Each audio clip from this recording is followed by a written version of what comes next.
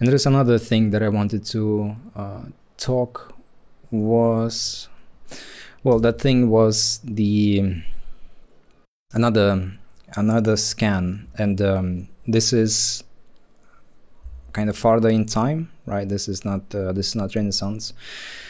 Um, and I was looking at the sculpture, and I was thinking, like, what what is this? What is uh, why I get such a strange feeling about this sculpture? Because everything that I do see, when it comes to just the figures, right, the, the kind of the pose and the, the dynamic and the, the gestures, all of that, it, it's working for me. I, I I like the complexity of it.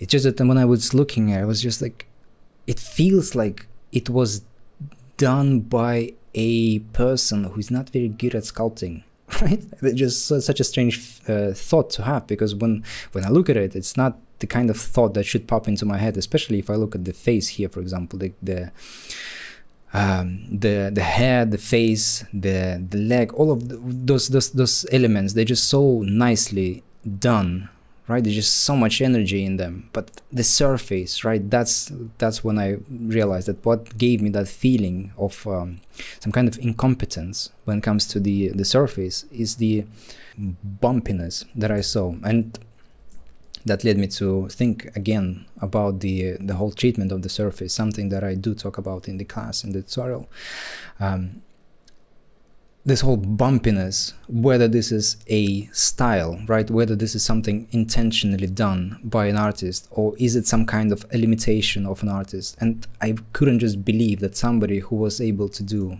such a strong piece was so poor at making the surface, uh, right? Or he was his style was such that the surface just doesn't really read like a style; it just reads poorly, like poorly done surface. And so just like with um, all the, not all, but some of those scans that I do have here, I went online and I started to well study and compare the original with the with the scan and I did find the high resolution of the um, of the original and yeah it's very interesting to to look at it and then just uh, realize some things. So clearly we do get to see some of the um, kind of hammering detail right on the on the bronze the it's kind of noisiness right that that we do get to see and this kind of sharpness in here.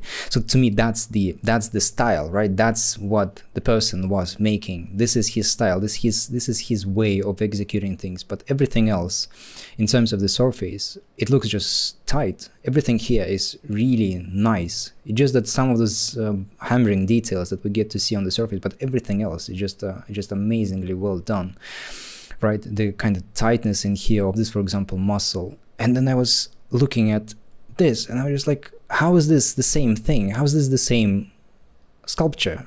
Like, where is this sharpness that I get to see on the on the on the sculpture, the original sculpture? Why can't I see it here? It's like, is it just purely because of the lighting? Is it purely because of the photograph? And then I looked closer uh, closer at the leaf, and I was thinking to myself, why is this leaf has such a crisp line in here and I don't really see all this crispness anywhere else, right?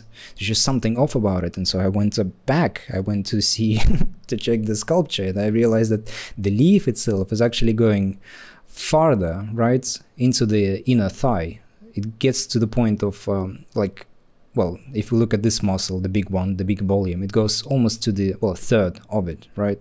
And if we compare that with the uh, uh, with the with the 3D scan, it doesn't go anywhere near that. And in fact, there's another muscle in here, another volume in here, right? So the on the sculpture, there's this volume, and the leaf goes somewhere up to here. Well, not maybe that much, but somewhere this close, right?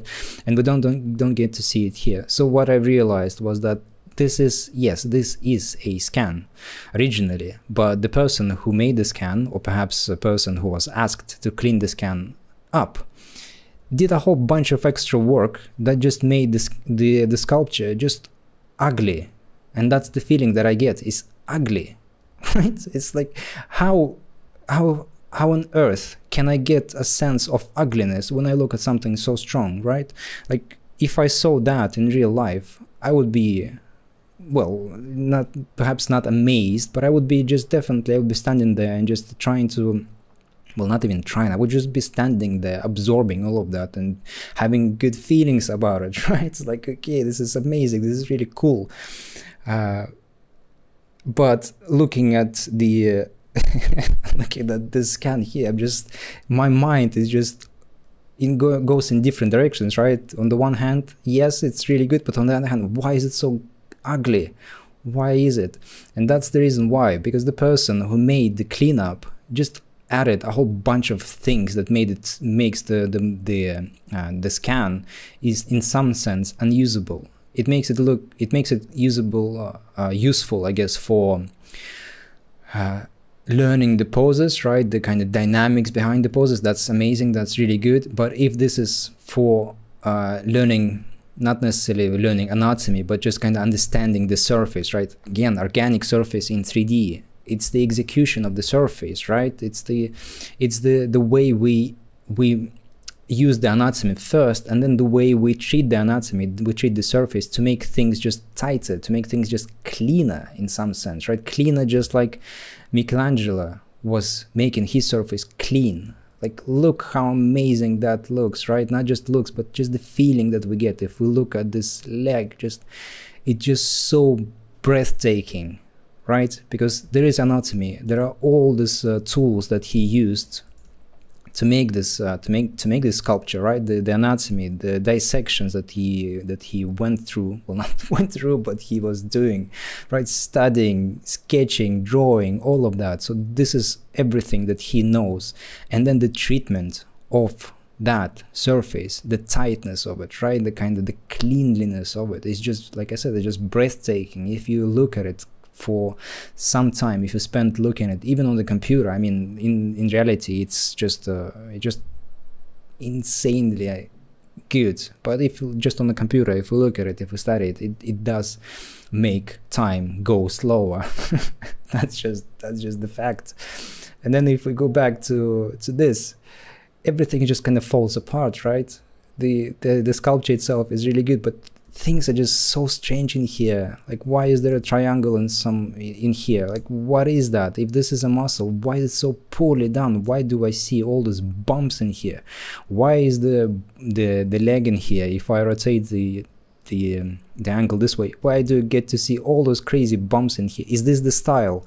My argument is that no this is not a style because why would a so naturalistic figure has this kind of a style for the treatment wouldn't the style be something more interesting right? Not just the bumpy surface where uh, if we remove this bumpiness things would just look better. And this is my my argument. Look what happens.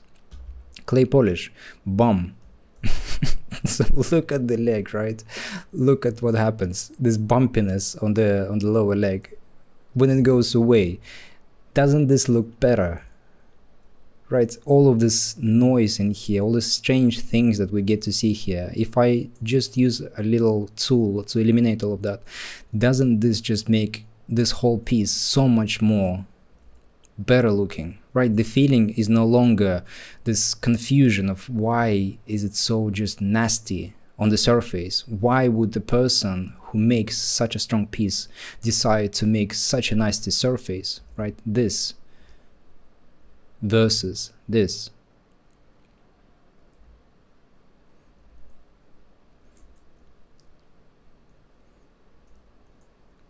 This, those situations, this, this detail in here, I don't even know why they're here. There's something was on the scan, but even if I just uh, uh, use the clay clay polish, it just makes things tighter, right? Look at the uh, look at uh, at this line in here and look at the way the surface connects.